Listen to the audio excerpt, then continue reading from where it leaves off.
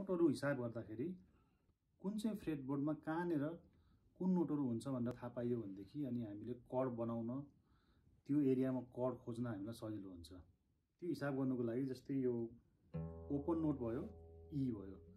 भनेपछि अब ई पछि फर्स्ट फ्रेडमा बजाउनु भयो भने एफ हुने भयो त्यसपछि F sharp G G sharp A A B C C sharp D D sharp E.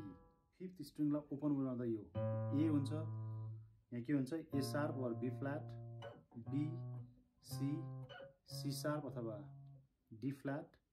यसरी नै जानुभयो भने यो पनि ए हुन आउँछ। बाह्रौँ फ्रेड पछि त यता हिसाब गर्दाखेरि फेरि त्यही नै रिपिट हुन्छ।